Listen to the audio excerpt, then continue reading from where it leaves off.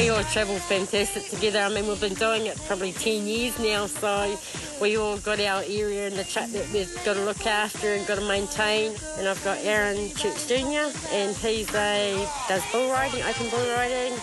He does calf riding and team roping with his father.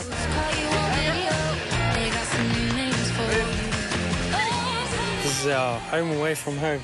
That's our shower and our sink for our water. That's all our water container stuff there. And um, yeah, our beds. Beds up there. And our core throws there. And two beds in the back there.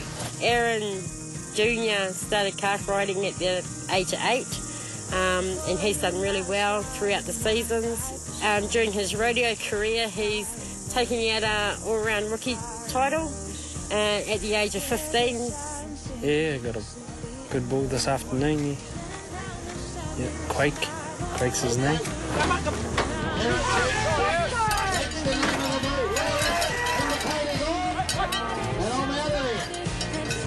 And there's Cheyenne Church, and she does open barrel racing.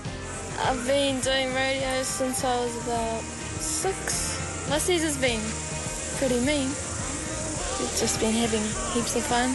Cheyenne's getting ready to team rope with me. Oh, he's team roping horse. This is Zan. And Cheyenne's on um, Whistler, and he's our heeling horse and roping tie horse. This side has to rope the head, and the person on the right side has to rope the heels. And then you got to make your strings tight, and then it's time, and then the fastest one wins.